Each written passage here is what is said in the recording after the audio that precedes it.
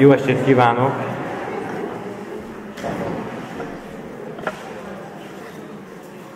A mai estén Boldizsár Ildikót köszönhetjük, és látom, hogy nem kell bemutatni, mert tele van a terem, aki mesével és mesekutatással, meseterápiával foglalkozik. Mielőtt az első kérdésre rátérnék, egy meglepetés Ildikónak. Komáromi Kata, aki nagyon kedves diákom volt, és barátom azóta is gyönyörű ékszereket készít, ezüstből dolgozik, és művészként azt is mondhatom, és ő felajánlotta, hogy, hogy azoknak a vendégeimnek, akiket, a hölgy vendégeimnek, akiket meghívok, nekik személyre szólóan készít egy-egy ékszert. És ezt tőle Megnézem. kaptad. Igen, igen, igen. Mesés lesz. Hát kár, hogy nem, kár, hogy nem látszik, de... Egy főbe. Alice, most körbe viszed, lefotózod, és nem körbe viszed? Vagy? Facebookra. Hát köszönöm, itt van a kata? Igen, igen. Ka- igen. Ja, várjál éppen. Gyönyörű, gyönyörű. Fordultál.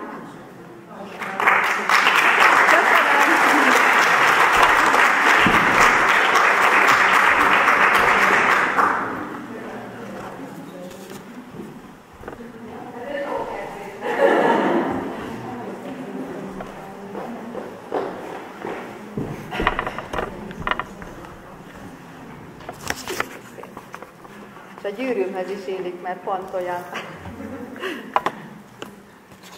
És ez a Boldizsár Ildikó kötet, az életválságok meséi, ez hátul kapható, azt hiszem, hogy mindenki látta, amikor, amikor bejött. Utána lehet dedikáltatni is. És ez az életválságok meséi, mesekalauz útkeresőknek.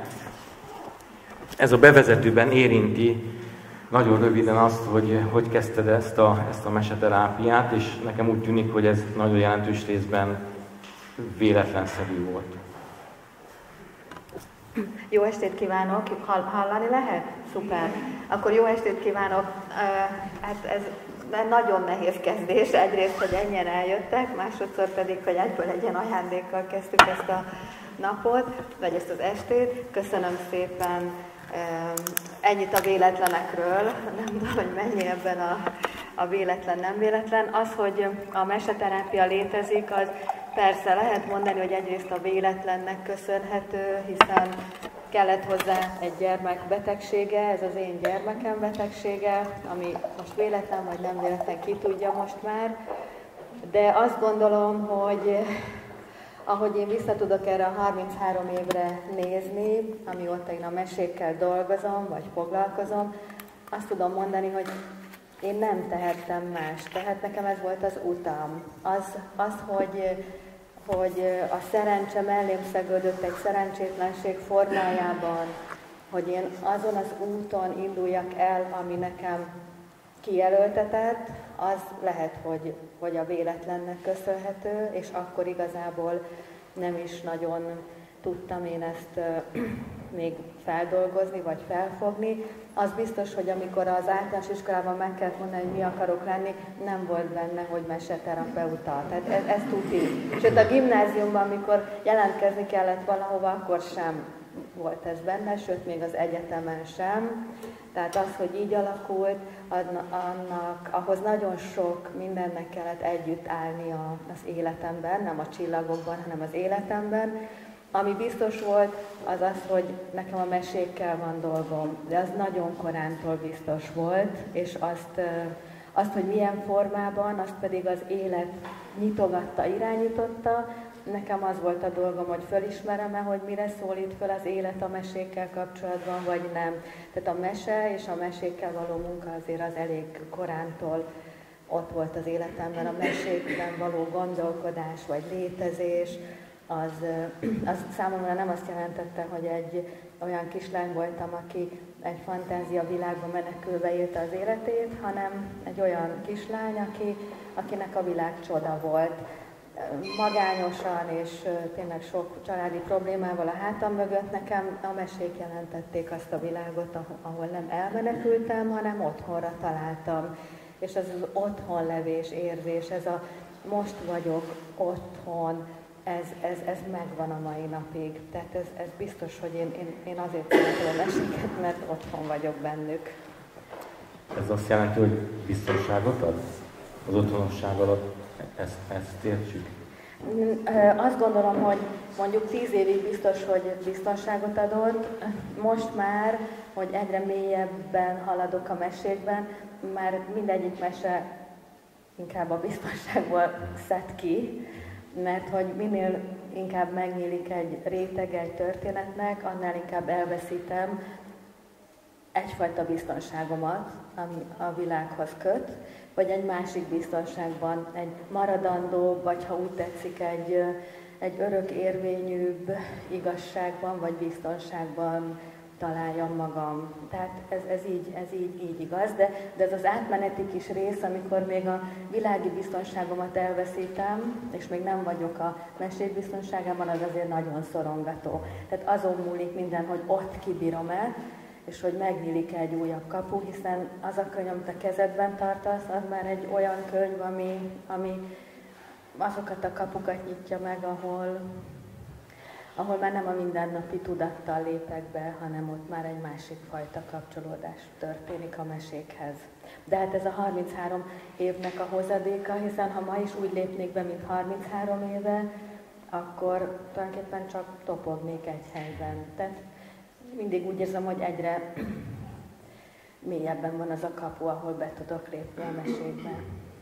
Akkor ez a szabadsággal is kapcsolatos, meg e, nyilván azzal a 33 éves tapasztalattal, amiről itt a bevezetőben is szó van, hogy, hogy, hogy ezek a mesék történetekbe zárt tapasztalatok, hogyha jól idézem, amit, amit írsz. Most, most ugye ezek nagyon ősi elemek és, és mesek, mesék. Ezek azt jelentik, hogy, hogy ugyanazokat a helyzeteket ismételgetjük?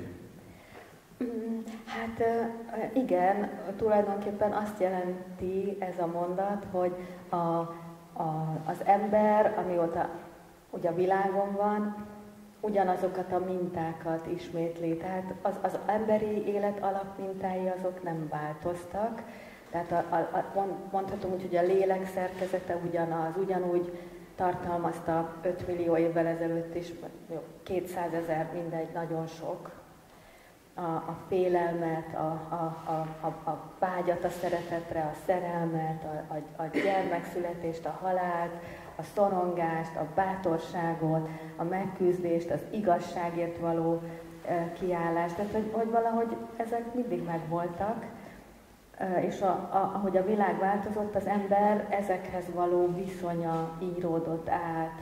És az ember szerintem úgy lett egyre boldogtalanabb, és egyre inkább veszítette el önmagát, ahogy az ezekhez való viszony megváltozott, és ezt a mesék is nagyon jól tükrözik. De ugyanakkor azt is megmutatják, hogy létezik egy olyan fajta ős állapot, amikor még az ember tudta, hogy mi a dolga ezen a világon, vagy hogy mit tehet meg azért, hogy boldog legyen ebben az életben. A mesék soha nem azt mondták, hogy egy másik életben kell boldognak lenni, hanem mindig azt mondták, hogy itt, meg most is azt mondják, és tulajdonképpen azt mutatják meg, hogy hányféleképpen lehet ezt a boldogságot elérni például, ha csak a boldogságnál maradunk. Ez uh, szubjektív megállapítás, hogy egyre boldogtalanabbul élünk? Hát nem, csak de lehet szavazni, hogy ez szubjektív. Már úgy értem, hogy, hogy mondjuk vannak erre vonatkozó kutatások. Hát azt lehet látni, hogy az ember azért csak az én rövid életemben is láthatom, hogy, hogy, hogy mi történik a világban körülöttünk, és azt mondom, hogy nyilván az, a boldogság az nem egy össztársadalmi érzés, Igen. hanem ez egy egyéni dolog, de hogy minél több boldogságvédeket lehet kikölcsönözni a könyvtárakból, meg megvenni a boltokban, annál több a boldogtalan ember. Ez, ez nem, nem csak az én véleményem, hanem azért erre vannak adatok, hogy az ember egyre inkább elveszíti a kapcsolatát azokkal a mondjuk úgy minőségekkel, amelyek a, a, a saját boldogságáért sokat tudnának tenni. Egyébként ez, ez tényleg úgy van, hogy um, már maga Jung is azt mondta, tehát ő elég régen élt, most mondjuk ki nem olyan nagyon régen, de ő is azt mondta, hogy az emberiség boldogtalanságáért vagy mentális romlásáért nagy mértékben felelős az, hogy elveszítette a kapcsolatát a mítoszokkal, az ősök világával, a mesékkel, tehát mindazzal, ami ugyanolyan értékes, mint az a rengeteg technikai tudás vagy racionális eszköz, ami körülöttünk van és nagyon fontos. Tehát ez egy régóta tartó folyamat, hogy az ember kezek közül kicsúszik a saját életének az egyik fele. Én legalábbis így látom. És a boldogság az mi? Vannak ilyen közhely kérdéseim időnként. Vágjunk bele! Mit nevezel boldog állapotnak? Hát, jó kérdés, de nem, tényleg mindjárt bele a közepébe. Hát az a helyzet, hogy azt már látom, hogy, hogy erre nem lehet egy per defi, tehát nincs egy ilyen definíció, hogy én most megmondjam, hogy mi a boldogság. Azt látom, hogy ez teljesen egyénfüggő. Tehát én nem mondanék ilyet, hogy ezt nevezzük boldogságnak, hogy, de az nagy eredmény az életemben, hogy azt tudom, hogy engem mi boldogít.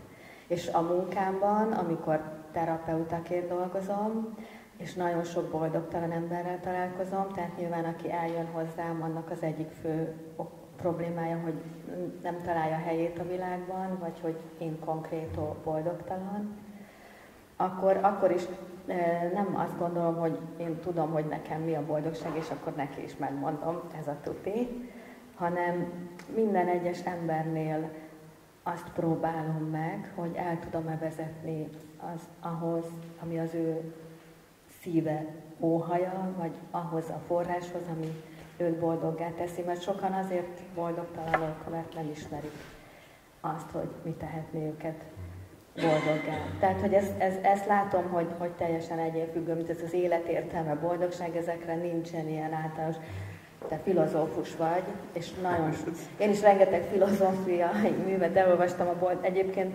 pont ez volt a mesékhez vezető út egyik állomása, hogy, hogy filozófiát, művészettörténetet, esztétikát, irodalmat tanultam az egyetemen, a bölcsészkaron, és hogy számomra ezek a irányzatok nem tudtak arra választ adni, hogy mi a tartós boldogság, és hogy érhető el. És, és akkor egyszerűen a, a, a, az ősi mesékben és mítoszokban találtam ezekre rá, a válaszokra, és így kezdődött az én oldhatatlan kapcsolatom a mesékkel, hogy, hogy egyszerűen azokban megtaláltam azt a választ, amit a filozófia, és nagyon okos filozófusokat olvastam, mindenki elmondta maga a véleményét Mindenki a tutit. Hát mindenki a tutit, és hogy, hogy akkor, akkor egyszer rá, ráébredtem erre, hogy ez így nem egészen. Mert, tehát ez az életértelme, és amikor megkérdezik, hogy mi, akkor is szoktam mondani, hogy hát ez lehet, hogy csak abban a pillanatban, amikor meghalunk, akkor fog kiderülni, hogy az én életem értelme mi volt. Most nem tudom. De lehet, hogy akkor az derül, hogy annyi, hogy egyszer rámosődtem valakire, aki aztán nem ugrott le a hídról, és aztán lett belőle, föltalálta mondjuk a, az egyik betegség ellen. Szerintem nem tudhatod, nem tudhatod, hogy mi ezekre a mesék sem mondanak általános ö, válaszokat, hanem egy utat mutatnak meg, amire az ember rááll, és akkor vagy végigjárja, vagy nem. Igen. A Kölcsei valahol azt írja ezzel kapcsolatban, hogy hogy a, a boldogság az igazából elérhetetlen állapot, a lelki béke vagy a lelki nyugalom az, amire törekedni lehet. A boldogságra is lehet törekedni, biztos, csak ez az egy kicsit, kicsit mint hogyha megfoghatatlan lenne. Na de a mesék szerint nem, mert hogyha a, minden mese azzal végződik, hogy boldogan éltek, még meg nem haltak, akkor azt nagyon komolyan kell venni. Tehát én tényleg mindent, ami a mesében elmondok, komolyan veszek. Tehát hogyha az a mese vége, hogy boldogan éltek, még meg nem haltak, akkor én föltettem azt a kérdést, hogy jó, de akkor azt hogyan csinálták? És akkor ez volt az egyik nagy reveláció abban, amit én létrehoztam, hogy hát tényleg azt mutatja meg mindegyik történet, és csak Európában 2400 típus van, ami megmutatja, hogy hogy lehet boldogan élni, hogy, hogy szisztematikusan végigvettem azokat a motivumokat, amelyek elvezették az adott mesehősét ehhez a mondathoz, hogy boldogan éltek, még meg nem haltak. Meg nem halt. De akkor van ez az ősi világ, amit a mese közvetít még a számunkra, ez egyre távolabb van tőlünk, és egyre távolodunk tőle. Egyre nehezebb a kapcsolatot létrehozni ezzel, plusz még nyilván a, a, a mese történetei mögé is mögé kell nézni, pusztán szó szerint olvasva a mesét, az, az úgy valahogy kevés. És, Mire? És hogy, hogy ezeket, e, ezeket megtudja, amiről beszéltél. Hogy ilyen útmutató szolgáltasson, mert, mert és, és ugye talán azért is problémásabb még, mert, mert mindig csak a sztoriban a történet van, és a történet mögött vagy nincs semmi, vagy pedig nem ismerjük fel, ami mögötte van. Na, hát látod, ez tök jó, hogy ide jutottunk, mert ez lett az én terápiás módszerem alapja, hogy ezt erre jöttem rá, hogy a, a mese, minden, tehát hogy a mesék egy kódrendszert alkotnak, és hogy ennek a kódrendszernek az egyes tagjai mutatják meg azt, amire te most pont rákérdeztél. Tehát a mese az egy mondjuk egy szimbolikus nyelven, vagy egy kódolt üzenetben beszél mindarról, ami az embert egzisztenciálisan érinti, és akkor amikor én azt hittem, hogy ezt mindenki érti ezeket a kódokat. Tehát elég hosszú idő volt, amíg rájöttem, hogy nem. Az mondjuk, mondjuk a hosszú időt azt tényleg tíz évbe kell mérni. Én azt hittem mindenkinek pont azt jelenti a mese, ami, amit én úgy nem hogy belegondoltam, hanem értettem bennük. És akkor az, a terápiás módszer ott tudott lenni belőle, hogy aha, tehát hogyha az ember nem érti, hogy miről szól egy történet, nem tud hozzá nyúlni segítő eszközként, akkor nekem az lehetne a dolgom, mondjuk így, bár ez ennyire nem volt tudatos, hogy összekapcsoljam az embert azzal a jelentéssel, amit egyszerűen elveszített, mert valami hiányzik a megértéshez, és nem más hiányzik, mint annak a nyelvnek az értése, ami a mese nyelve. Tehát egyszerűen ez a, mondjuk így, hogy szimbolikus nyelv, a teremtő képzelet nyelve, a kódolt üzenet, a kódokban való gondolkodás, a szimbólumokban való létezés, ami a 18. század végéig mindennapos volt az ember hogy ez tűnt el, hogy nem már csak az értelmét keressük a dolgoknak, tehát mi a létra? Hát az, az egy létra, de minek a szimbóluma? Jó ég és föld közötti közlekedési eszköz. Ezt így lefordítani értelmetlen.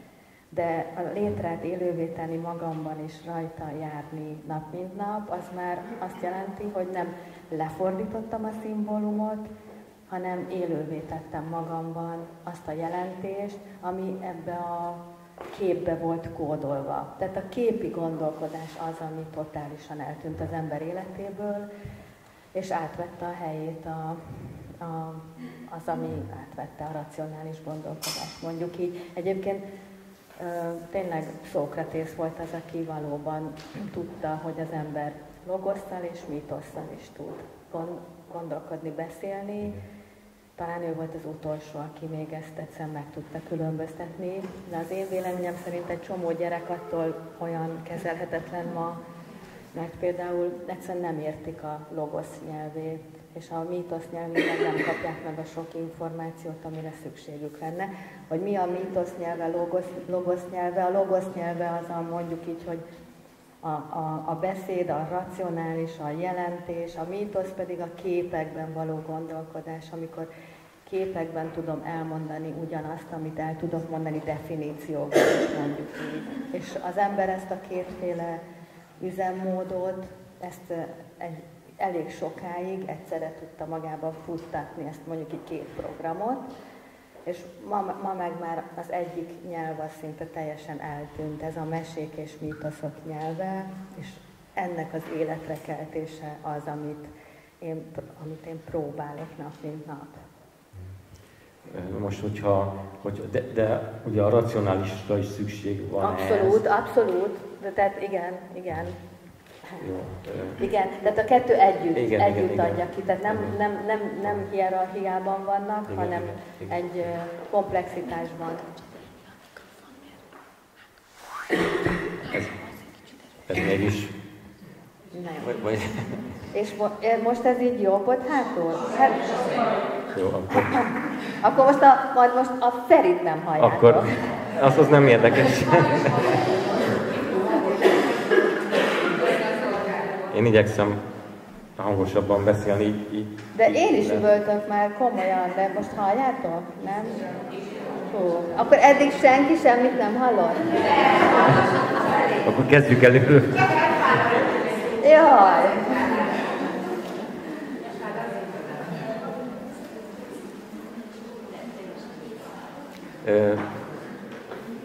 Ez Szukratész, amikor, amikor az erényről beszélt, akkor is hangsúlyozta azt, hogy, hogy minták alapján tanuljuk el az erényt, de van itt egy probléma, hogy, hogy mi van akkor, hogyha rossz mintát követünk, és hogy arra racionálisan kell valahogy reflektálni.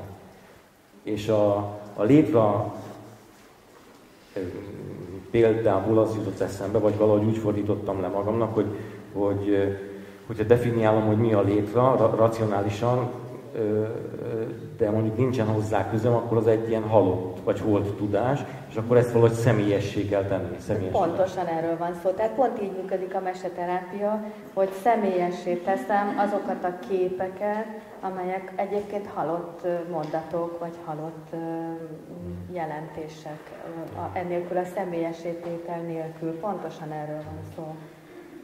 És, és akkor e-, ehhez, ehhez is nyilván az kell, hogy, hogy aki részt vesz a, a meseterápiában, a páciens, az önmaga kell, hogy megdolgozzon érte. Így van, így meg. van, így van. Tehát, hogy a terápia nem azt jelenti, hogy akkor én lefordítom neki a mesét, hanem abban segítek, hogy az az ő meséje legyen, és az ő életének titkos szálai, amelyek valahol értelmezhetetlen kötként vannak benne, a mese segítségével megnyilvánuljanak és élővé váljanak. És ez nagyon, nagyon sokat segít. Tehát tényleg rengeteg területen nagyon sok jó esetről tudnék beszámolni. Itt utal is rá a könyv bevezetője, vagy utalsz a könyv bevezetőjében arra, hogy, hogy mindenkinek a saját történetét kell megtalálnia, és hogy nagyon jellemző lehet, hogy egyre jellemzőbb, hogy más történeteket akarunk élni, vagy magunkévá tenni, ez, ez miért van így?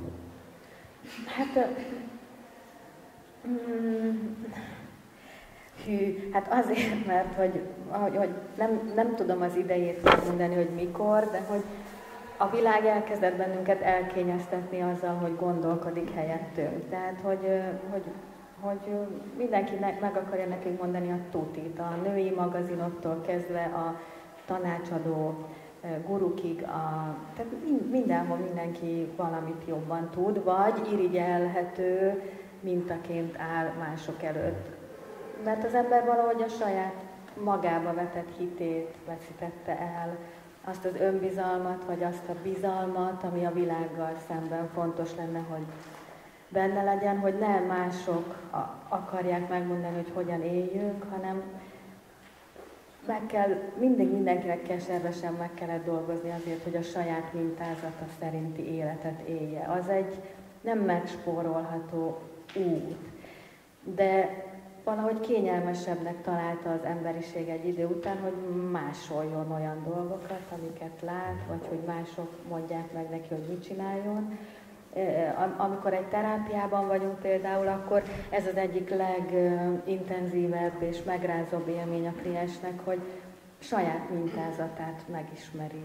Ez nem az is, több az ismert meg önmagad, ön, ismert meg önmagad nagyon régi és bölcs felszólításánál, mikor az ember a saját mintázata szerint fölismeri azokat a elemeket a sorsában, amelyek ismétlődést mutatnak, amelyek fölülírhatók, vagy nem írhatók fölül, és ezt mind-mind mindig a mese segítségével tesszük. Tehát ez az a kétfajta történet, amire azt írod, hogy lehet újat is teremteni, meg, meg lehet reprodukálni is. Igen, igen. Tehát, hogy, hogy mind a kettő. Tehát van, van, akinek abban segítenek a mesék, hogy egy már meglévő történet segítségével a saját életét mondjuk így jobbá tegye. Ott van egy minta, ez a nő ilyen bátran végigküzdötte a saját életét, és akkor a terápia arról szól, hogy ezt az utat kell követni. Ez olykor három évig is eltarthat. Szoktam elmesélni annak a kliensemnek a történetét, aki három évig a Hamupipőke című mesével dolgozott heti egy ülésben, az háromszor 52 hét, ott volt a mese, a minta lett volna, de ő a mesében azon a helyen látta magát, ahol turkál a hamuban, és próbálja a lencsét meg a magokat kiválogatni. És ott neki nem volt jó, de nagyon sok idő kellett, mire egyáltalán kimert onnan mozdulni. Tehát ott volt a minta, hogy el kéne menni abba a bálba, hát ő oda nem megy. Hát bálba nem megy, hát oda szép ruha kell, meg ilyen koszosan, tehát mire ő kimosdatta magát, és ezt most idézőjelben mondom, kívül, belül, tehát nem egy szutykos nőről volt szó, egy jól szituált, nagyon gazdag hölgyről, aki mégiscsak a hamuban látta magát turkálni. Tehát az a vágy, hogy neki is járna egy bál, egy királyi ruha, egy király, fi, akivel táncol, ez nagyon hosszú ideig tartott, mire, mire elmerte hinni. És aztán ugyanúgy, ahogy a mesében mikor jött el az a pillanat, hogy elismert oda menni. Akkor miért szökött meg mindig a bálból? Miért ment el a hangkipőke a bálból állandóan?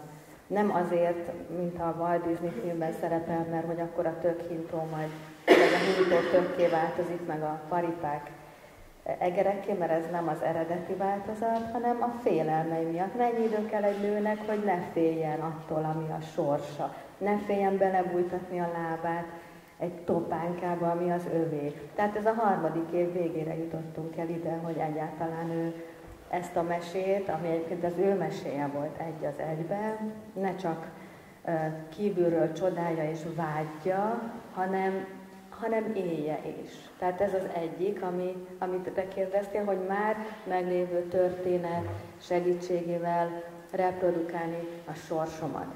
De vannak olyan történetek, amelyeket fölül kell írni, főleg betegségek esetén. Hogy, vagy, vagy olyan történeteket, amelyeknek nem jó a vége. Több rákbetegem volt, és majdnem, hát a, közülük többnek a kisgyufárus lány volt a kedvenc meséje. Na most a, a, kisgyufárus lány az a legsötétebb mese a világon, ami létezik. Tehát, és hogy ők, ők ezt nem is vették észre, hogy ez egy sötét mese, ez a kedvencem, hát milyen gyönyörű. Hát ez a kislányot meghal a végén. Hát tényleg nagyon gyönyörű. És hogy nincs senki, aki, aki, hogy de eljön érte a nagymamája, és a karján fölviszi a mennyországba. Tehát igen. Tehát ezt a sorsot nem. Tehát, hogy ez, ez, ez, egy, ez megint csak egy évekig tartó munka volt, hogy, hogy, hogy fölül lehet írni. Tehát, hogy ezt fölül lehet írni, ezt a mesét.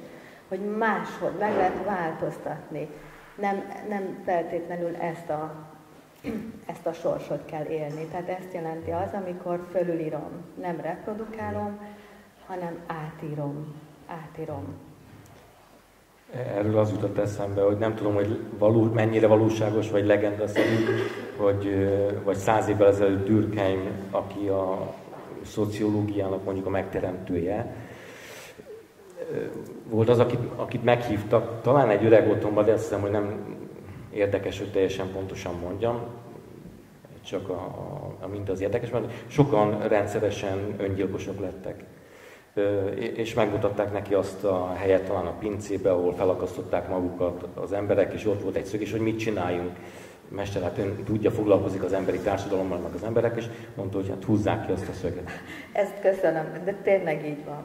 Igen, igen, ez így van. Tehát, hogy mit csináljak, és akkor ott a mesém, a kedvenc meséje, és akkor azt mondom, hogy hát van lehetőség egy ponton. Nem szoktam megmondani, hogy hol, hogy hol van az a lehetőség, ahol ezt a mesét fölül lehetne írni, de amikor megtalálják, vagy meg, meg, meg is alkotják az új mintát, az fantasztikus. Ez olyan, mint amikor egy szőnyeg, szőnyegben újra kell szőni egy, egy, egy, egy mintát, mert hogy az ott, az ott nem, nem szép, vagy megrongyolódott. És akkor tényleg így működik, hogy ennyire egyszerű, hogy ki kell venni ezt a szöget. Ki kell venni azt a motimot, hogy a nagymama jön értem az égből, és hazavisz, fölvisz a mennyekbe. És gondolom, hogy ez a kettő keveredik egymással, tehát hogy reprodukálok meg, meg új, újat hozok létre, mert hogyha mondjuk arra gondolok, hogy az ember általában a kamaszkorában lázad a szülei ellen, és azt mondja, hogy, hogy nem, ezt, ezt én nem, tehát ahogy ők, azt, azt én aztán nem, és akkor tíz év után rájön, hogy ugyanazt csinálja, amit a szülei csinálnak, és akkor egy következő lépés az, hogy most ezeken bizonyos pontokon, vagy ezen bizonyos pontokon változtatni kell, meg bizonyos pontokon meg kell tartani, mert ez stimmel, kompatibilis az én életemmel, a másik meg nem. I- igen, így van, így van, és, a, és a, hát a meséket is pont így lehet használni, ahogy mondod. Tehát, hogy mi az, ami kompatibilis, ezért nagy felelősség.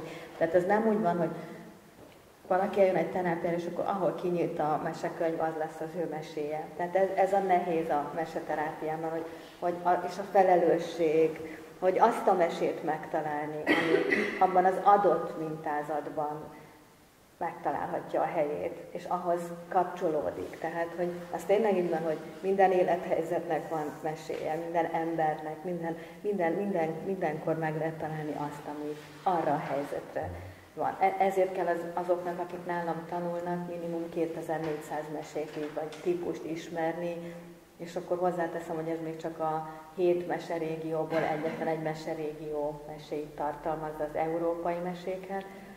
Tehát, hogy, hogy nagy, a, nagy a felelősség megtalálni azt, hogy melyik az ő története. Mert hogyha egy rossz történettel dolgozom, akkor az nem, nem azt jelenti, hogy akkor megfenetik a terápia, hanem lehet, hogy valami olyasmire, olyasmi nyitok meg benne, egy olyan kódot, ami, ami őt nem a felé viszi, ami ezt a bizonyos boldogságot segíti, hanem még nagyobb romlásba taszítja. Ezek kőkemény kódrendszerek valóban a mesékben, a kódok pedig megnyílnak az emberben, hogyha, és akkor is, ha nem az én kódom, akkor is megnyílhatnak. Igen, ez, ez nekem is nagyon mindennapos élmény már egy jó ideje, hogy, hogy azt látom, hogy a diákok hogy alapvető kulturális kódokat nem ismernek. És ez egy, ez egy nagyon, nagyon, nagyon nehéz dolog, mert ugye nem azért nem ismerik, hogy velük valami baj lenne, hanem egyszerűen ilyen világban élnek. Na, hát most... egy nagyon nagy kulturális szakadék Aha. van. Köszönöm, hogy most ezt megerősített. Hát ez, ez, ez, erről van szó, ez az, amit én csinálok. Tehát hogy, hogy a kód az nem más, mint egyfajta természetes tudás az ember élettel kapcsolatos fizikai, szellemi és lelki teendőkről. És hogy, hogy, hogy, hogy, hogy ezeket régen is, azt nem mondom, hogy tehát régen volt, aki, meg, aki megnyitotta a fiatalokban. Erre voltak az ifjú avatási rítusok például nagyon jók. A, amikor a fiatalokat tényleg arra trenírozták, hogy a kódok megnyíltak. Akkor is egy, egy, egy szertartással, vagy egy bölcsvezetővel, vagy egy öregemberrel, vagy egy mindegy, a kód nem nyílik meg magától. Csak azok az emberek tűntek el, akik kódokat tudnak nyitni. Igen. És, és, és én a helyükre nem tudok annyi embert odállítani, ahány emberre szükség lenne. A mesékben hiszek, hogy megnyitják a kódot, de sajnos a mesék sem maguktól már. Tehát mégiscsak kell egy közvetítő. A közvetítők tűntek el, azok, akik ebben segítenék az új generációkat, hogy azok, amiket te a tanításban tapasztalsz, én pedig a munkámban, ha nincs megnyitva, akkor mi fut le? Nem fut le a program. Az egy, akkor az a program fut le, hogy a csecsemő tud szülni, az anya tud meg, tud megszületni, az anya tud megszülni, ez lefut. De onnantól minden kódot nekünk kell kinyitni. És a hagyományban a történetek voltak a kód nyitogató kulcsok. vagy, vagy, vagy egy férfi mint vagy egy női minta, mindegy, hogy Igen. mi, de ha nincs, akkor, akkor azok zárva maradnak az emberben. És a különböző mese régiók, a különböző mese régióknak a, a meséi inkább hasonlítanak, vagy inkább különböznek, vagy vannak nagyon jellegzetes minták vagy példák, amikre ugyan, amikben ugyanazokra a problémákra ugyanazt a választ adják, vagy, vagy ugyanazokra a problémákra teljesen mást választ adnak? Hú, hát szép esténk lesz. Ne, nagyon, jó, hát, nagyon jó kérdés. Elmarad a koncert. Ne, jó, akkor ráérünk. Szóval, hogy igen, az én nagy bánatom, hogy az én életem kevés lesz arra, hogy mind a hét meserégió meséjét a maga mélységében föltárjam. Tehát most mondjuk azt, hogy biztonsággal elmondhatom, hogy 33 év kutatás után ismerem az európai népmeséket. De hát ezen kívül még hat nagy meserégió van, tehát meg kéne ismernem az észak-amerikai indián, a dél-amerikai indián, az afrikai, az óceániai, a távol-keleti, az indokínai meséket, ami mindegyikben más hagyományozásbeli törvényszerűségek és más világképek tükröződnek. Tehát odáig most eljutottam, hogy nagyjából az európai és a keleti mesék közötti különbségeket látom, és most, most nagyjából az óceániai meséket ismer, ezekkel sokat foglalkoztam az elmúlt két hónapban, és most indulok majd az indiánokhoz, hogy az indián meséket megnézzem ugyanilyen szem, hogy mondjuk ez már négy olyan régió, amiben egy betekintést nyerhetek esetleg. De hát akkor mindig ott van az afrikai meserégió, tehát hogy, hogy a kérdésedre, hogy nem kitérést szeretnék, tehát gyakorlatilag azt azért elmondhatjuk, hogy a világ népmese kincse az nagy mértékben hasonlít egymáshoz. Mindenhol ugyanazok a témák kerülnek elő, ugyanazok az emberi alaptémák. De, és itt van a lényeg, a megoldási technikák mások. Tehát ha csak a két nagy különbséget veszem, hogy az európai mesékben mindig menni kell, küzdeni kell, tevékenynek kell lenni, megváltoztatni, megmenteni, visszahozni, megoldani, jónak lenni, bátornak lenni, tehát valaminek mindig kell lenni, ami nagyon sokszor szuper, de nagyon sokszor meg nem vezet semmire, mert valamikor nem kell lenni semminek, csak hagyni kell, hogy a dolgok tényleg megtörténjenek, és a keleti mesék például ezt tudják. Tehát a keleti mesékben megszűnik ez a cselekvéskényszer, és a helyére lép a befogadás kényszer. Most ezt a, nem, nem kényszer, hanem hogy a keleti mesehőse az így leül egy ilyen homokbucka tetejére, nem megy sehova, és a lába elé térdel az egész világ. Ami arra jön, ahhoz ő kapcsolódik. Azt ő megnézi szemlélődik, elfogadja, beleáll, nem vitatkozik, nem írja fölül, nem ment meg senkit.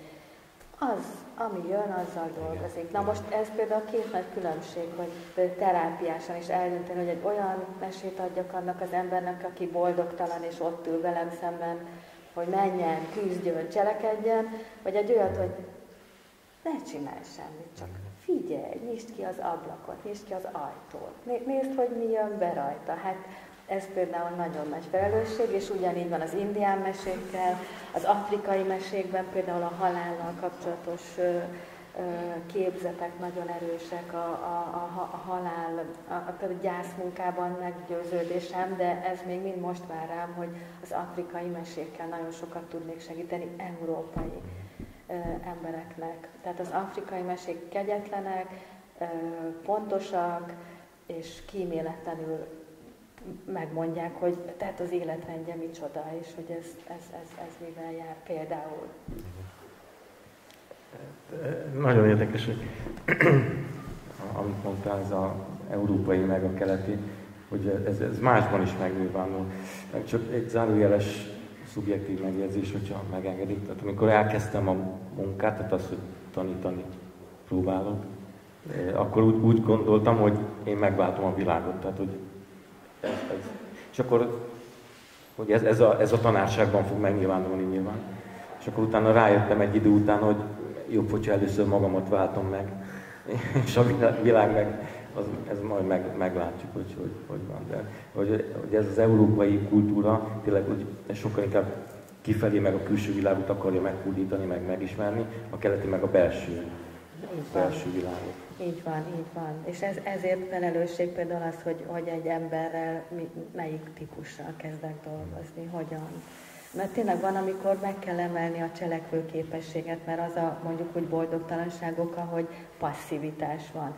Valamikor meg pont a passzivitásból, vagy az aktivitásból van túl sok, és akkor meg abban kell segíteni valakit, hogy, hogy, hogy, hogy most egy picit, például rengeteg olyan nő, nővel dolgoztam, akinek fogalmazási nehézségei voltak, tehát nem érkezett meg a várva várt baba.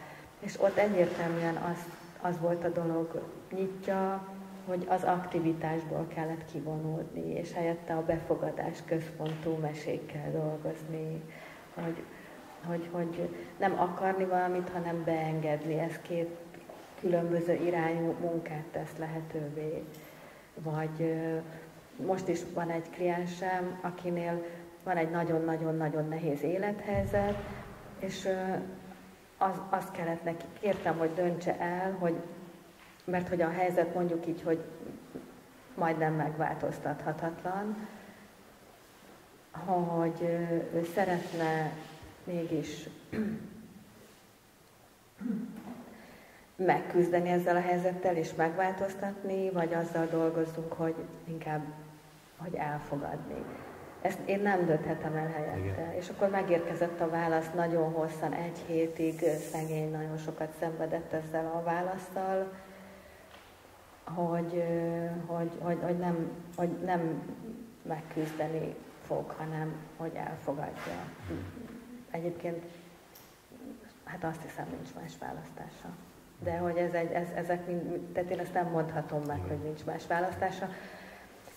Két teljesen különböző mesét adtam volna neki. Tehát ha ő azt, azt dönti, én segítek, mert mindig van remény, hogy sikerül valami. Nem élet-halálról van szó egyébként, csak hogy ne értsék félre. De, de neki kell meghozni a, a döntést. Azt, azt is írod, hogy ez most szóba került, hogy a mesék egyáltalán nem mondanak ellent a racionalitásnak, de az intuíciót nagyon erősen kiemeled. Most, hogyha az intuícióról van szó, akkor azt honnan tudjuk, hogy az az intuíció az jó vagy nem jó? Hát ez az intuíció lényege, hogy nem tudjuk. Szóval,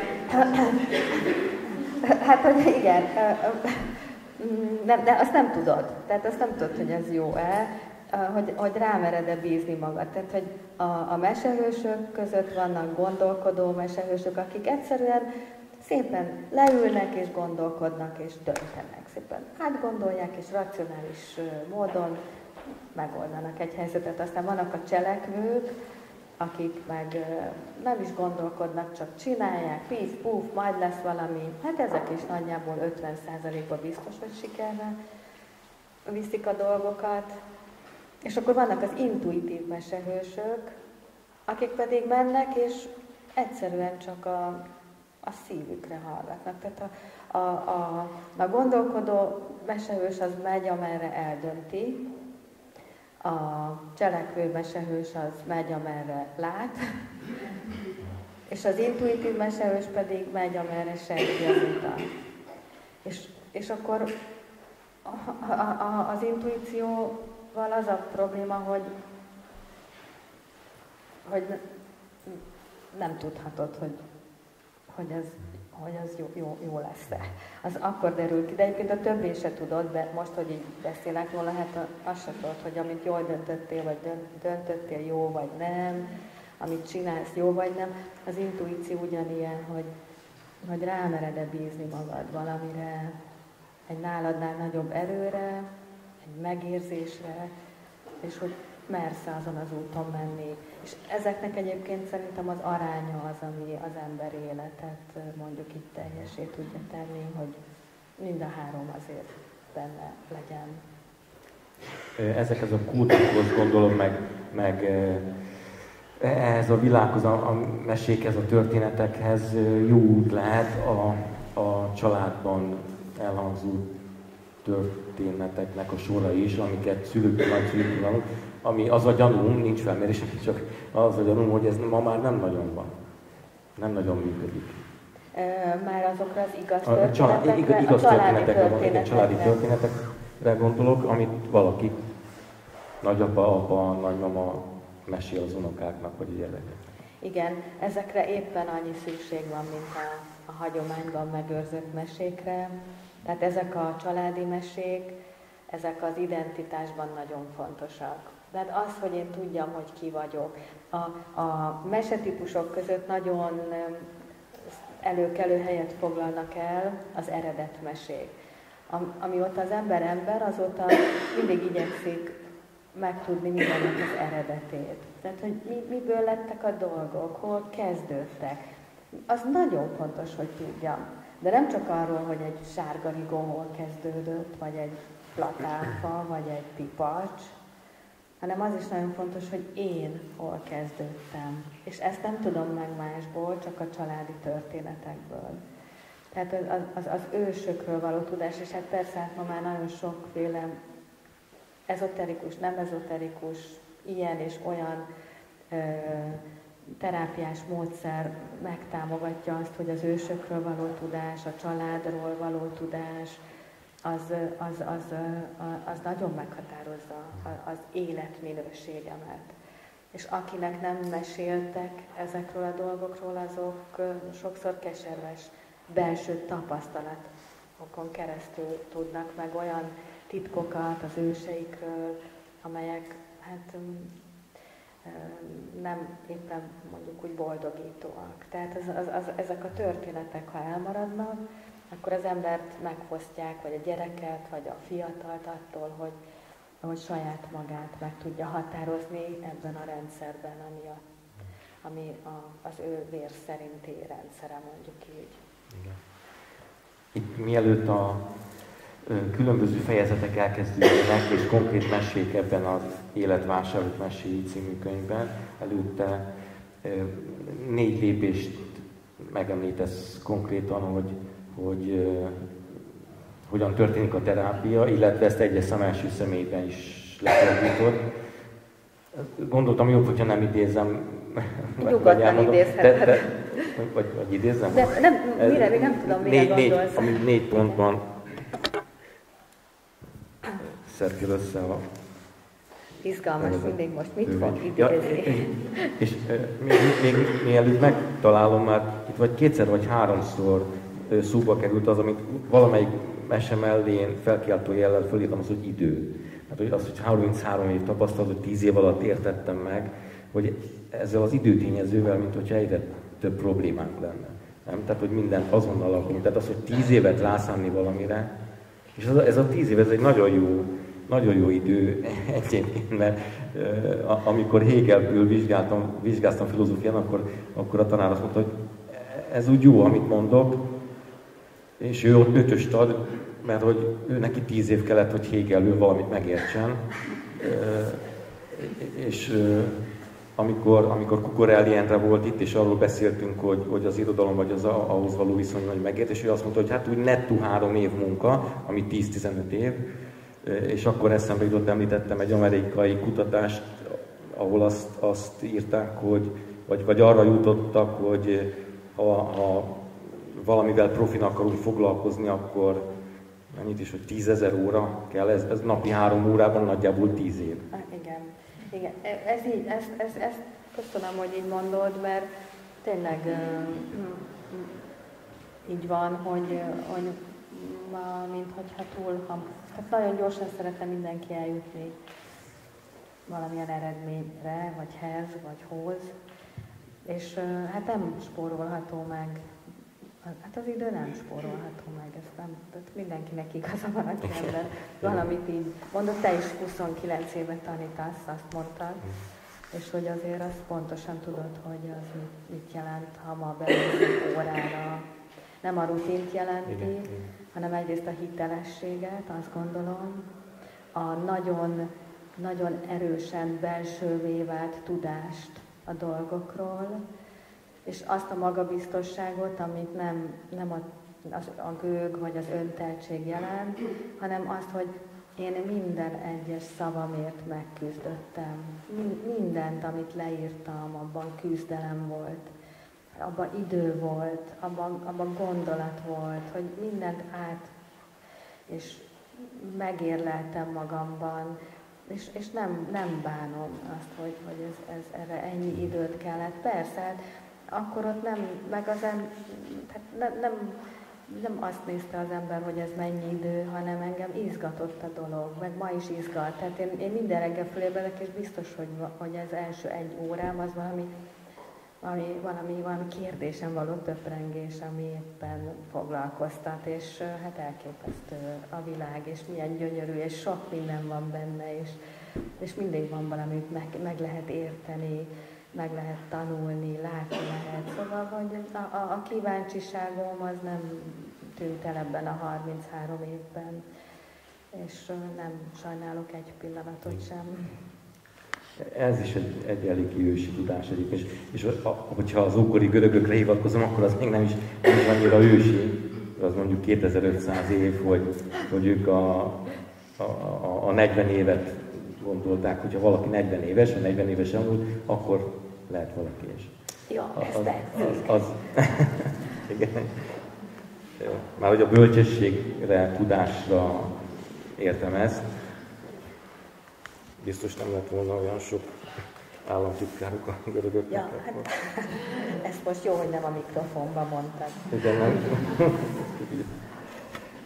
Tehát én arra gondoltam, hogy, hogy a bevezető végén azt szeretném, hogy most négy olyan mesét mutatok be, amelyek kezdetek óta meghatározzák a terápiás munkámat.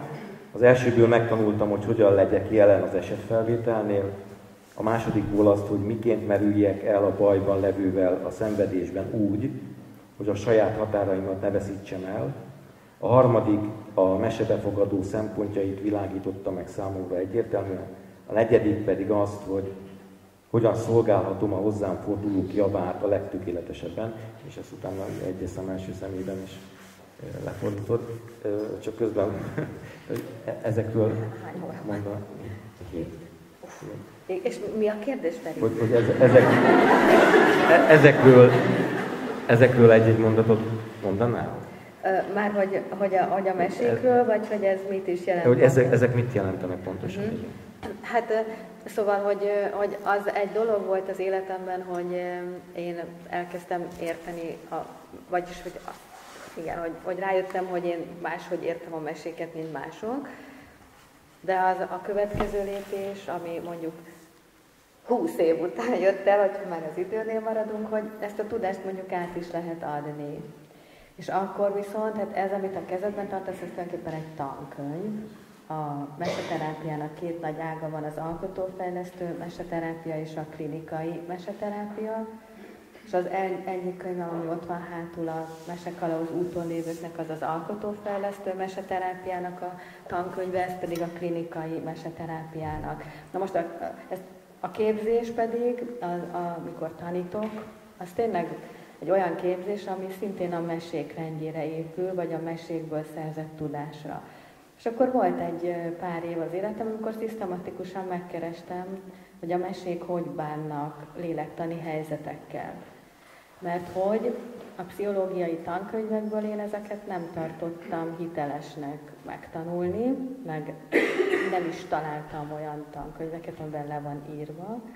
És akkor megtaláltam ez, nem csak ezeket, hát ide most négy került be, de hát van egy ilyen kis könyvre való gyűjteményem, amiből valóban azt tudom megtanítani, és én magam is ebből tanultam meg. Én nem vagyok pszichológus, tehát én úgy dolgozom emberekkel, mindent, amit tudok az emberről, azt a mesékből tudom.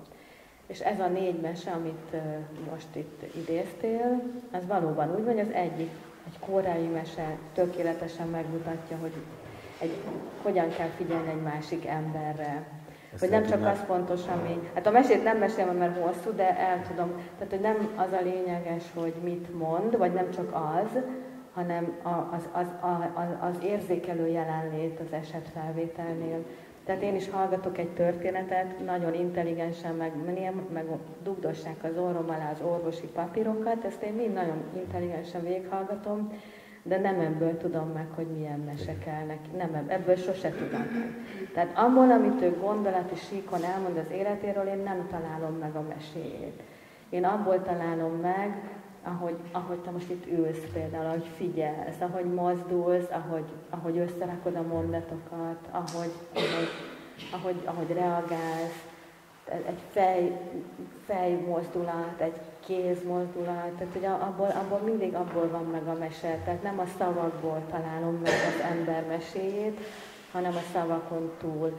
És az a korai mese, ami ebben a könyvben benne van, az pontosan erről szól, hogy az orvos de ez a szerencsétlen beteg már mindenkinél járt, és senki nem tudta meggyógyítani, és az orvos az a betegnek a mozdulataiból jön rá arra, hogy mi a baj. Mert, mert a beteg önkéntelenül oda nyúl, ahol a probléma van. Ez egyébként tényleg így van, hogy, hogy, hogy ebben nagyon sok igazság van, és akkor ez az első mese erről szól. A második az, az arról, hogy hogy meddig lehet leereszkedni a beteggel, hogy hova kell levetkőzni magamat is ahhoz, hogy, hogy együtt legyek vele a szenvedésben. Én, én abban hiszek, hogy együtt kell lennem a szenvedésben. Nem tudok másképp kivezetni senkit a pokolból, ha én nem megyek le oda. Tehát innen nem tudom kivezetni. És, és nagyon szép az a mese a, a királyné, aki madárnak képzelte magát, ami arról szól, hogy valóban egy mély gyászban egy nő mesztelenre vetközve bebújik egy asztal alá, és ő azt mondja onnantól kezdve, hogy ő madár, és hogy ő csak ott csipeget ott lenne az asztalat, és azt mondja csip, csip, csip, csip, és akkor mindenki kétségbe van es, vagy a királyné valakinek a gyermeke halt meg, és ettől vesztette el a, a valósággal való viszonyát, Nincs senki, aki meggyógyítsa, mindenféle itatnak vele, de ő akkor is csak ott csipog és mesztelenül ugrabugrál. És akkor, hogy jön egy, egy ember, aki, aki ránéz, és akkor azt mondja, hogy hát jó, akkor én, én, itt állok, ő meg ott van lenni, mert nem fog menni. És akkor mesztelenre vetközik, és bebújik az asztalra, és azt mondja, hogy csip-csip. És itt kezdődik a gyógyítás. Csip-csip. És akkor együtt van a szenvedésben ezzel a királynéval, és amikor a királyné már ugrálni mer vele ott ide-oda, akkor így lassan azt mondja, hogy jó, hát ezek a magok nagyon finomak, de most együnk már valami banánt is. És akkor úgy lassan esznek valami mást is, aztán lassan öltözzünk föl. Tehát, hogy nagyon szépen lassan kivezeti a, a királynét a depresszióból, mondjuk így divatos szóval. Na most a, mes, a meseterápiában az a jó, hogy amikor én mesztelenre vetközöm a kliensemmel, az tulajdonképpen azt jelenti, hogy beugrok az ő meséjébe, bemegyek. És nekem ahhoz tényleg mesztelenre kell vetköznem, nyilván nem így, hanem máshogy, mert egy történetben, ami az övé, én abba alá fogok merülni. És ott fogok vele, ahol ő látja magát a történetben, oda fogok lemenni, és onnan fogunk együtt kijönni a mese megvéd mind a kettőnket. Tehát mégse az van, hogy egy asztal alatt kell ugrálnom vele, hanem egy történetben, de ez tőlem is megköveteli azt, hogy, hogy ott legyek. Üm, igen. Ez nagyon kemény munka minden alkalommal a számunkra is. Hát nincs is sok kliensem, mert ez nem azt jelenti, hogy, hogy napi tíz emberrel tudok dolgozni, vagy napi tehát nem, így van, nem, ez nagyon kemény. Ez nagyon kemény, nagyon kemény. Én úgy, úgy tapasztalom, hogy ettől egyre, egyre inkább menekülünk eh, általában, és, és a, a, a szórakozás felé, a fogyasztás felé menekülünk. Tehát, hogy, hogy nincsenek olyan, olyan minták sem, hogy, hogy eh, nem meneküljünk, hanem megküzdjünk vele. Eh, ugye, és a, a minták tényleg, tényleg most, ugye, most nem, nem elhatározásokról beszélünk, mert amikor én mondjuk 18 éves koromban megnéztem Bergmannak az Őszi Szonáta című filmjét, akkor hát egyrészt lehetett látni ilyen filmet a moziban. Igen. Tehát most ugye az nem, nem tőlem függött. hogy, hogy néz az ember svéd filmet, az úgy benne volt a levegőben, és az valami iszonyatosan a földhöz vágott, és, de mondjuk az életem egyik legnagyobb élménye. Most ma, ma ezt már nagyon, nagyon tudatosan kerüljük, nehogy, nehogy valami kellemetlen, minden happy, és, és ez a fajta Disneyland-esített élet van, van jelen. Nagyon érdekes, hogyha nézzünk filmet közösen, mondjuk diákokkal, akkor sokszor, hogyha valakinek nem tetszik a film, akkor, akkor arra hivatkozik, mert hogy szomorú volt a vége, vagy, vagy, vagy nem volt vidám a vége, vagy nem, nem, nem, nem happy end-del végződött. És nyilván erről ő, ő, ő nem tehet, és nagyon sokszor, hogyha, tehát hogy, bocsánat, hogy ennyi, ennyit beszélek, csak, ja, tehát a, a, a testvérem addiktológus, az egyik testvérem, az Iker testvérem, egyik lány, csak nagyon büszke vagyok rá azért. Addiktológus és neurológus, igen, nagyon, nagyon, nagyon sokat tanultam tőle. És, és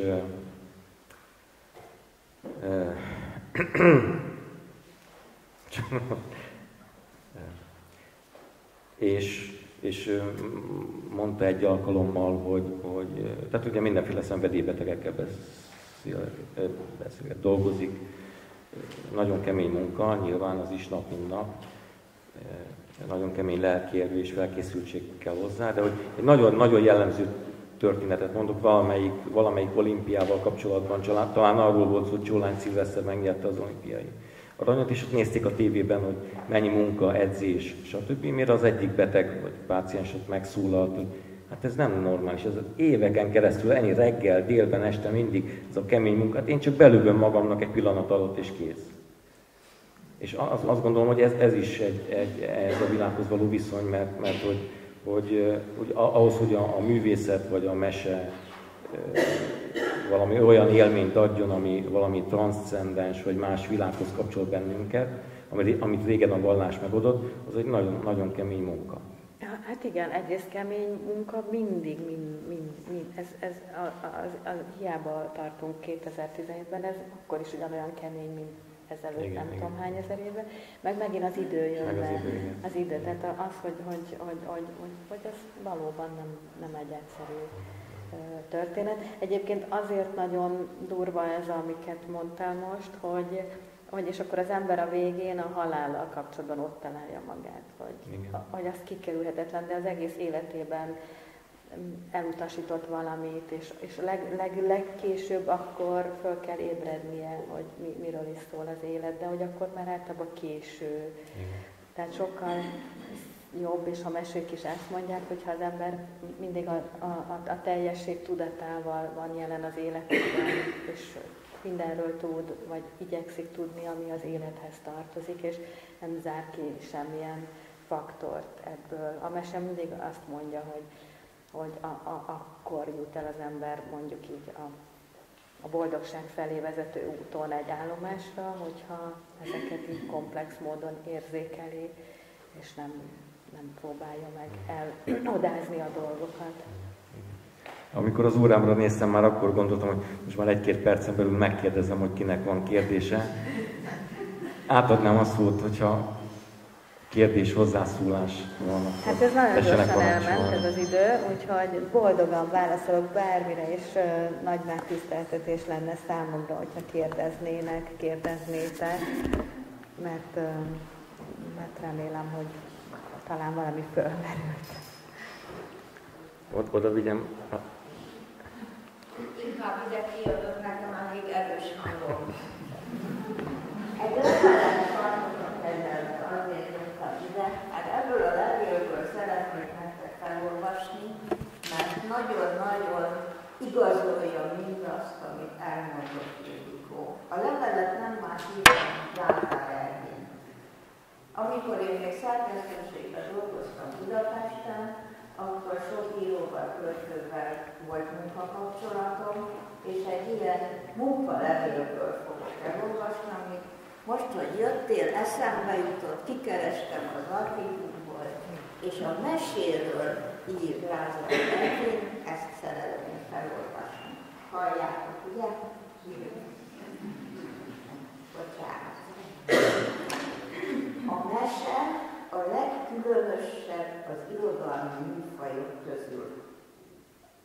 Talán nem is helyes irodalmi műfajnak nevezni. Helyesebb, ha azt mondjuk rá, életműfaj. Mivel minden művészeti árnál nagyobb szerepet játszik az emberek egymáshoz való viszonyában. Nem hiszem, hogy volna olyan szülő, aki nem mondta a gyerekeinek. Nincs olyan felnőtt, aki ne emlékezne szívesen a szüleitől hallott mesékre, vagy legalábbis arra a varázskörre, ami a mesehallgatás közben a mesemondóval összezárta. Amikor a kézmozdulat, a hangszín, a tekintet, a törődés és a szeretet legalább olyan fontos, mint maga a történet. Ha ugyan nem fontosabb. A mesemondás nem más, mint léleképítő ritmus. Ugye, hogy nagyon ide már. És ezt mikor írta az Ervin? 1995-ben akkor dolgoztunk együtt, és akkor kaptam ezt a levelet tőle. A többit azért nem olvasom, mert az már privát Hát nagyon szépen köszönjük. De ez hát annyira teljesen, teljesen. Rakott a dalát, Igen. annyira egyetért, és ez 95-ben írott. Így van, akkor én még. Lázár Ervin hoztam. Magyar mese atya. Köszönjük szépen. Köszönjük Tessék parancsolni. Én szeretném azt mondani, hogy nagyon örömmel ajánlom mindig a szülőknek is a- az életmódnak egyetlen egy mondatát, pedagógus vagyok. A mesék élni segítenek, és ugye illusztrációval egy kis megtámogatásra. Nagyon-nagyon-nagyon szomorúan tapasztalom, hogy a hat éves gyerekek legnagyobb része beszámol arról, hogy nem mesélnek neki, és, és gyakorlatilag a gyerekek úgy nyilatkoznak, hogy hát az olyan babás. Tehát, hogy itt tartunk gyakorlatilag a, a média világban, hogy hát vissza tudok tekinteni már nagyon sok évre, és, és hát egyre durvább a helyzet, úgyhogy életmentő túlélő csomagként nézek a, a mesékre, és mindenre, ami ezzel kapcsolatos, és, és hát nem tudom, Ildikótól kérdezném, hogy lehet, hogy nem vagyok elég tájékozott, de, de hogy, hogy minden követ meg kell mozgatni, hogy valahogy, valahogy eljutassuk a szülőkhöz. Én, mindig ezen gondolkozom, hogy milyen csatornák, tehát hogy, hogy hogyan lehet megközelíteni őket, hogy megértsék ennek a jelentőségét, mert, mert már az is nagyon nehéz, a mostani fiatalabb szülőknek, hogy az ember megértessen velük, hogy miért jobb egy valóban hallgatott mese, mint egy, hát a Disney mesékről ne is beszéljünk, tehát az félelmetes, de, de, hogy, de hogy, hogy, meg a mesének nevezett, mesének látszó valamik, amik egyáltalán nem mesék.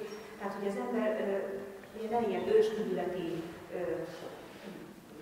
emberként közelítsen a témához, hanem, hanem próbálok, próbálok alternatívákat, vagy próbálom őket valamilyen vagy oda vezetni, de nagyon-nagyon sokszor azt tapasztalom, hogy értetlenül néznek néhányan, hogy most, most mi baj van ezekkel a másik fajta történeteket. Tehát igazából már, már, már próbáltam a korát felé is közelíteni, mert találok minden később, de én azt látom, hogy az iskolában is sokszor később. Tehát tényleg minden, minden követnek mozgatni, minden el fog veszni.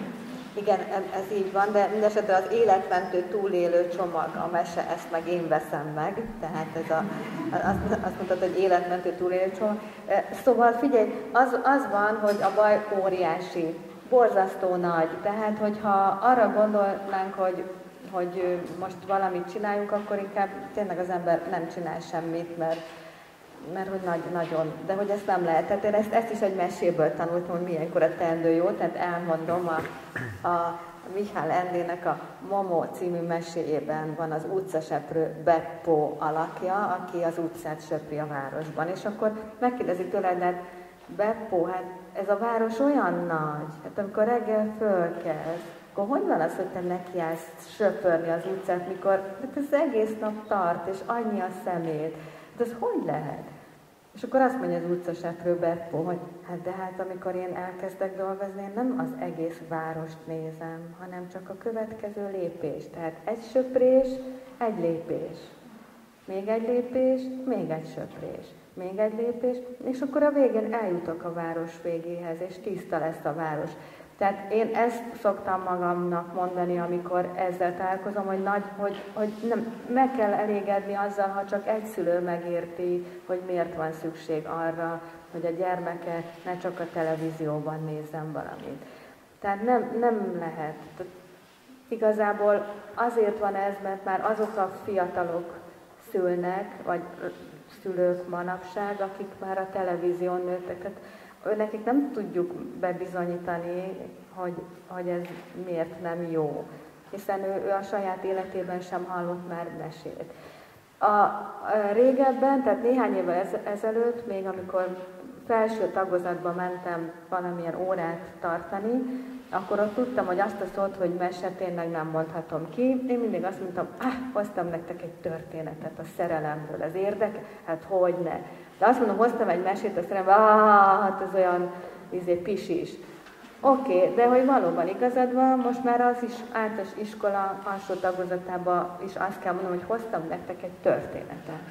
Tehát, hogy, hogy nem, nem mondhatom szinte, mert hogy a mesének van egy ilyen a gyerekek körében, nem minden gyereknek természetesen, de a jelenség az, amit mondtál, ismert, hogy a gyerekek nem azt akar, hát mert nem tudják, hogy mi az. Egyszerűen erről van szó, hogy a meséről valami más képük van, és azt nem akarják. Egyébként abban meg nekik van igazuk, amire ők azt gondolják, hogy mese, az őket nem érdekli, mert nem is az a mese. Tehát itt kell mindent, kell, mindent előről kell kezdeni jelen pillanatban. De ne felejtsd el, egy lépés, egy söprés, egy lépés, egy söprés.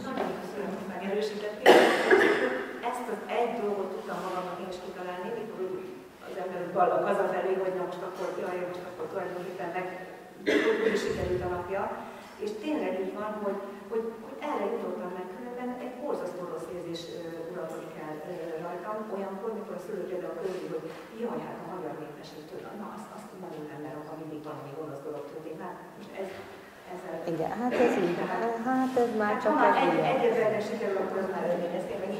Így van, és hogy annak kell nagyon örülni. Tehát mi, jó, hát most legyen ez. E, ennél okosabbat jelentőben nem tudok mondani, tényleg messzire vezetne, hogy mit kellene ahhoz átalakítani, hogy ez, ez ne így legyen, de most ez, ez, ezzel kell küzdenünk.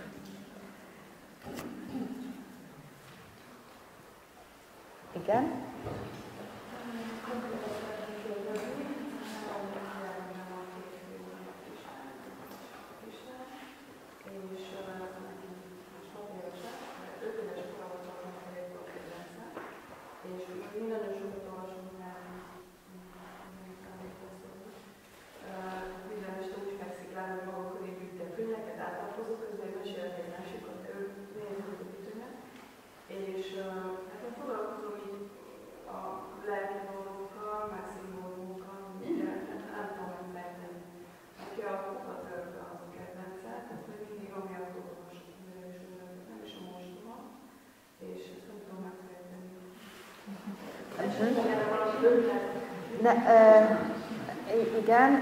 A gyerek nélkül ezt én nem tudom. Tehát az, hogy én tudjam, hogy neki mi köze van a kukához, ahhoz legalább egy órát játszanom kell ezzel a gyermekkel.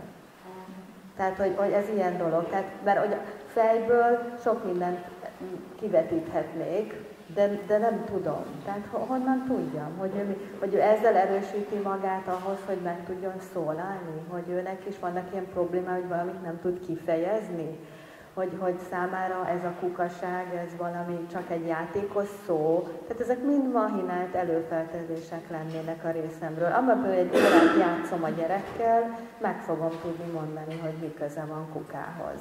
Ez, ez ilyen. Tehát elméletben nem tudom, hogy kinek mi köze van egy történethez, és miért az a meséje. Ez, ez, ez, ez, ez sarlatánság lenne, ez a ha, megmondom, mi köze van hozzá. 250 forint per per. Tehát ezt nem, tehát ide nem fogok. Meg hát nem is erről van szó, érted? Tehát, hogy nekem kell, tehát a, a, én azzal tudok dolgozni, aki, aki a történet. Igen? Tessék, Én azt szeretném kérdezni, hogy az óceániai mesékről, tudom, hogy lehet, hogy egész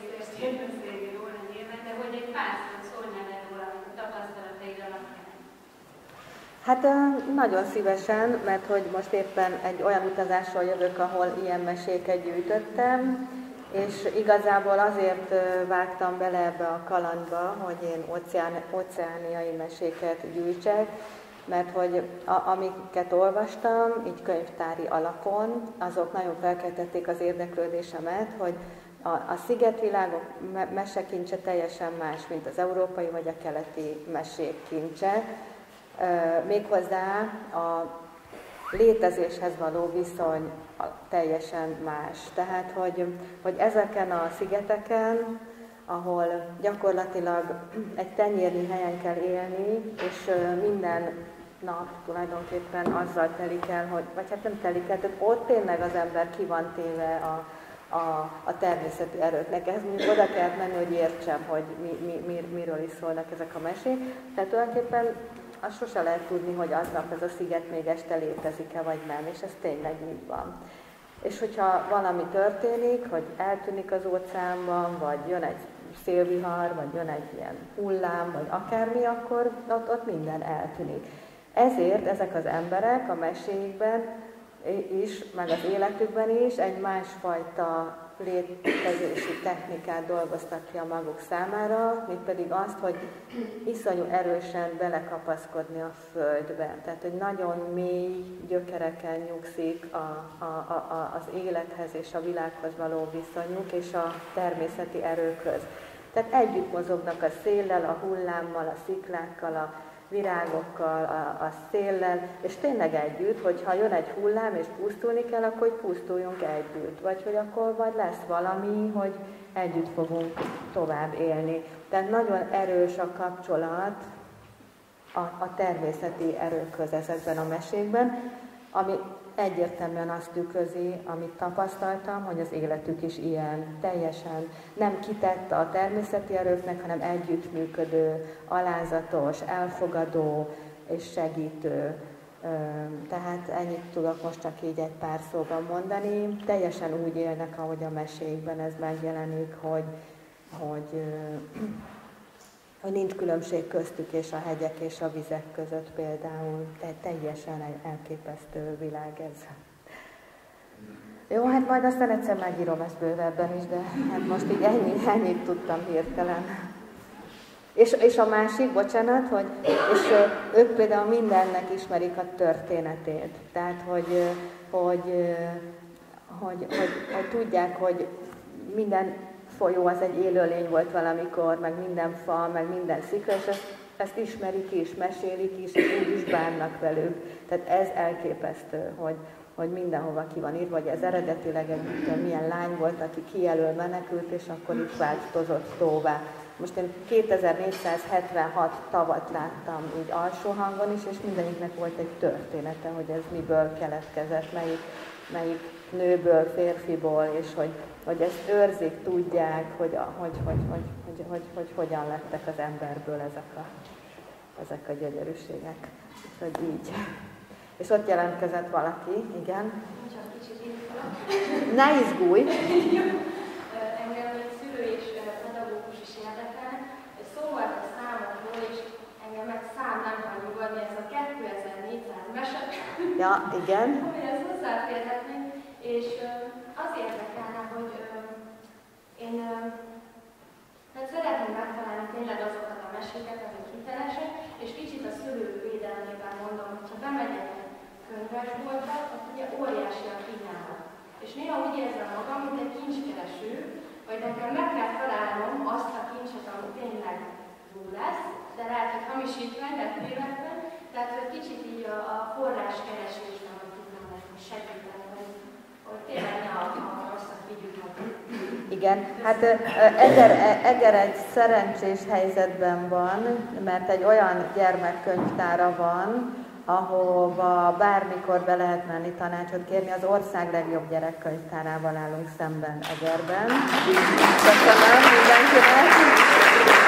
Itt lévő gyerekkönyvtárosoknak is, hogy itt vannak, de mivel ismerem a szakmai munkájukat szintén 33 éve, tehát oda egyszerűen be kell menni, és ők mindenben segítenek, mert most nincs értem, hogy én itt dobálom a címeket, amikor tényleg elképesztően jó szakemberekkel van dolgok. Tehát oda nyugodtan be lehet menni. Jó, ez az egyik válaszom. A másik meg, igen, az európai mesekutatás, amikor elkezdődött, akkor, és összegyűjtötték az európai népmesekincset, mindenféle gyűjtőt, akkor a kutatók elkezdték ezeket így rendszerezni, hogy miről szólnak ezek a történetek, és a témák alapján 2400 szüzsét különböztettek meg, tehát ez az európai mesekincs alapja, ez a 2400 típus. Ezek nem mesék, ezek csak típusok, és mindegy típus alá több száz szöveg tartozik, hogy bonyolítsam, de hogy, hogy így, így, így. És ez a 2400 típus 9 nagy csoportba tartozik, és a 9 nagy csoportban meg alműfajok vannak, tehát ezt most így Szóval nem mennék bele, jó? De van itt néhány tanítványom, őket meg lehet keresni, mert ebből vizsgáztak, jó? De nem mondom meg kik, mert ne hozzam őket zavarba, de elmondják szívesen, jó?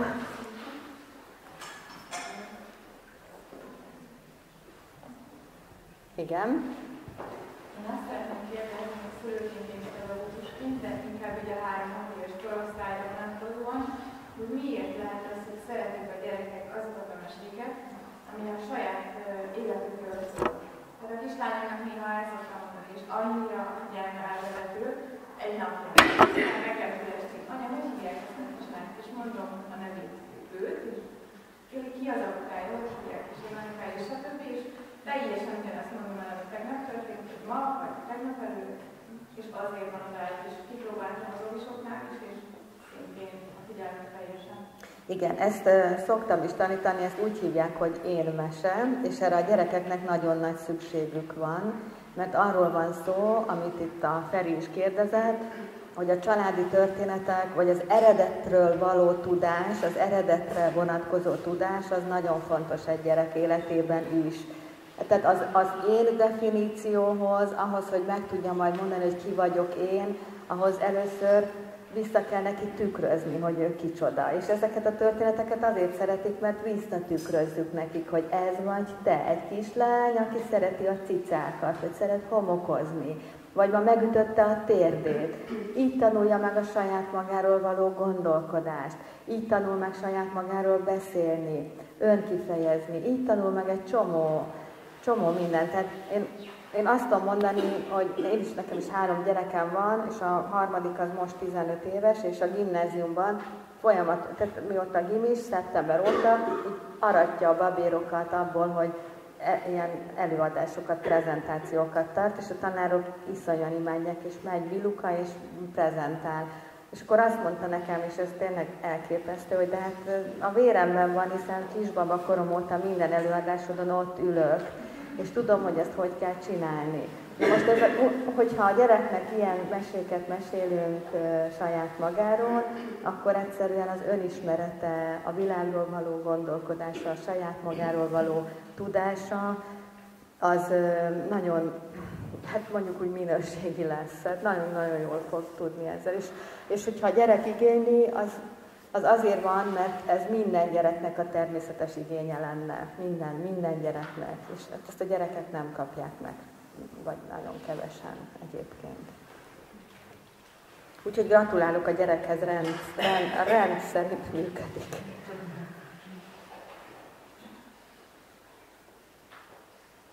Na, van-e még valami? Hát, hogyha nincsen, akkor február. február. Április 28-án folytathatjuk majd. Akkor Péter Figergely, a Kitömött Barbár című regény, ami Egon Díjas lett írója, és Péter Finovák Éva, akinek az Egyasszony című írását itt bemutatták a forrásban, lesznek együtt a vendégek itt, tehát április 28-án. Boldizsár Ildikónak pedig nagyon szépen köszönjük. Hát én is nagyon köszönöm, hogy itt voltatok, és köszönöm, tényleg köszönöm szépen. Mindenkinek áldott ünnepeket kívánok. Köszönöm.